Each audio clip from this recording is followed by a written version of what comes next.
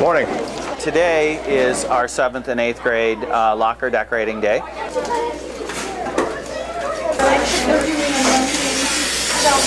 How long you been working on this? since last night. So who picked out the paper? I did. Yeah. She knew pretty much what she wanted for in here, so it wasn't too hard. Because the other things they had were very, very childish. Like Okay, I gotta figure out. baby tigers and stuff. But if it was like, if it was realistic baby tigers, I would have had that. Yeah. Screw out there. Are you gonna have shelves or anything? No.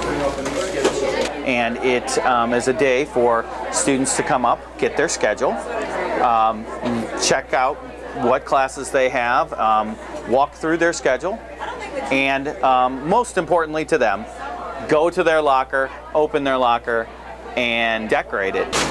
Well, I put my books in there and my backpack. This is my first time.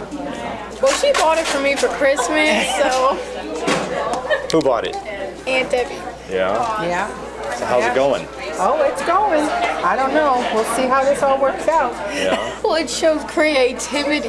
I actually saw a mini chandelier today. One student uh, apparently purchased that at uh, one of our local establishments, and uh, and it lights up, battery powered, and everything. And it's all called Football Beautiful. Look at all the macho football pictures in there. So tell me about that. What's in there? I don't really know how to describe it anymore.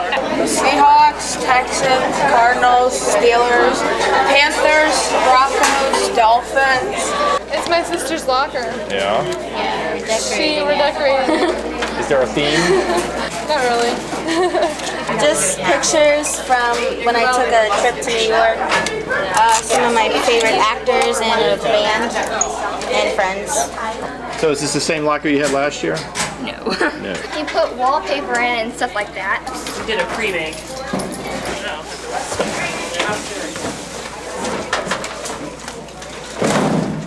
There you go. Tape it where we want it. Cool. That'll be a lot Who, easier. whose ingenious idea was that, Mom? Maybe mine. I decorated the little things last year, and all it was was a picture or two. So kind of doing polka dots, gray and white. Yeah. Okay. Who picked that out? Me. I see you have some carpeting in the bottom there. Yeah.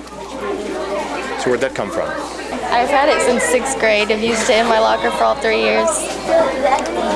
But it's all um, you know a nice initiation to the start of the school year.